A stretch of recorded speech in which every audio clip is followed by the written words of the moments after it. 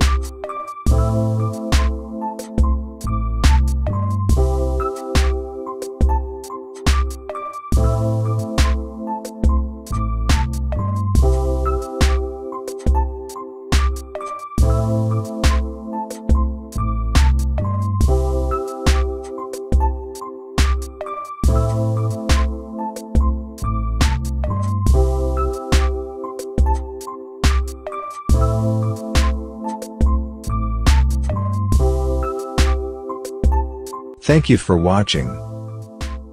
Don't forget to subscribe and like this video if you love the preset. See you in my next video.